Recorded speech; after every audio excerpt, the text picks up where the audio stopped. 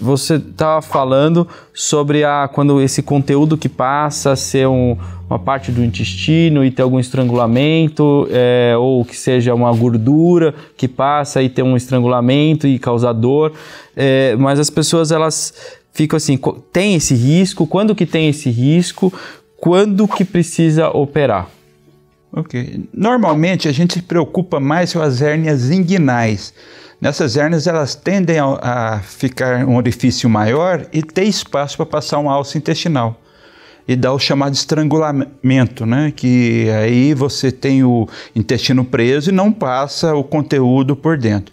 Na hernia umbilical é muito difícil isso acontecer, é, pelo tamanho do orifício. Geralmente na hernia umbilical é, é, o que sai são pequenas é, quantidades de gordura. A gordura fica na região, ela pode causar dor, porque a gordura, quando ela fica estrangulada, ela causa dor.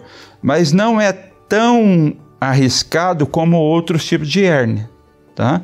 Mas à medida que esteja incomodando, tanto pela dor como esteticamente, tem-se indicação sim de operar.